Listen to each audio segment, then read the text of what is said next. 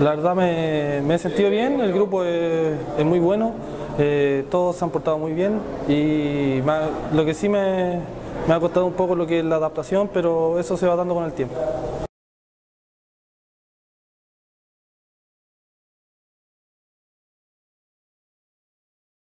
Eh, jugamos bien, eh, tenemos buen toque, eh, lo que tenemos que agarrar ahora es más confianza y conocernos más en el equipo, que para poder, para que nos sigan saliendo las cosas bien.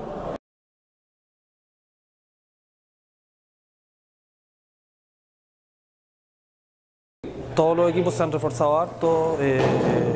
Cobresal nosotros tenemos un buen equipo, eh, se mantiene una base y hay que ver, yo creo que va a ser un campeonato difícil, pero vamos a luchar y vamos a tratar de hacer lo mejor posible.